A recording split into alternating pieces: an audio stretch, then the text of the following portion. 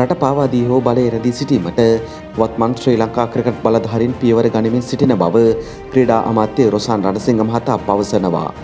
ICC මණ්ඩලයේ විසින් වහම ක්‍රියාත්මක වන පරිදි ශ්‍රී ලංකා ක්‍රිකට් ආයතනයේ සමාජිකත්වය අත්හිටුවීමට පියවර ගැනීම සම්බන්ධයෙන් අදහස් දක්වමින් අමාත්‍යවරයා ඒ බව සඳහන් කළා. මෙම තහනම ICCයට පැනවීමට අවශ්‍ය වූ තහනමක් නොවන බවත් ක්‍රිකට් ආයතනයේ බලධාරීන් විසින්ම සිදු කළ තවත් ක්‍රියාවක් බවත් අමාත්‍යවරයාගේ අදහසයි. ශ්‍රී ලංකා ක්‍රිකට් ආයතනයේ සමාජිකත්වය අත්හිටුවීමට ICC විසින් ඊයේ තීරණය කළේ ශ්‍රී ලංකා ක්‍රිකට් ආයතනය විසින් කළ ඉල්ලීමකට අනුව බව ක්‍රික් ඉන්පෝ වෙබ් අඩවියද වාර්තා කළා. නිවේදනයක් නිකුත් කරමින් ICC ඊයේ සඳහන් කළේ ක්‍රිකට් ආයතනයේ කටයුතු ස්වාධීනව කළමනාකරණය කිරීමේ අවශ්‍යතාවය හා ශ්‍රී ලංකා ක්‍රිකට් ක්‍රීඩාවේ පාලනය නියාමනය හෝ පරිපාලනය සඳහා රජයේ මැදිහත්වීමක් සිදු නොවන බවට සාතික වීමට නොහැකිවීම හේතුවෙන් එම අත්හිටුවීම සිදු කළ බවයි. ශ්‍රී ලංකාවට එරෙහි තහනමට හේතු ICC විසින් ඉදිරිපත් කිරීමෙන් පසුව තහනම ඉවත් කර ගැනීම සඳහා අවශ්‍ය අභ්‍යාචනයක් යොමු කිරීමට කටයුතු කරන බවයි අමාත්‍යවරයා කියා සිටියේ.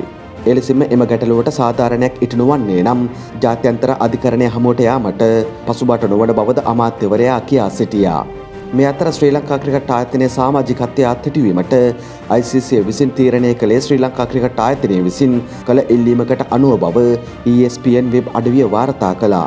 ශ්‍රී ලංකාවට දෙසැම්බර් මාසය වනතුරු තරග නොමැති බැවින් එම අත්හිටුවීම හේතුවෙන් ශ්‍රී ලංකාවට දැඩි බලපෑමක් මේ මොහොතේ එල්ලවන්නේද නැහැ.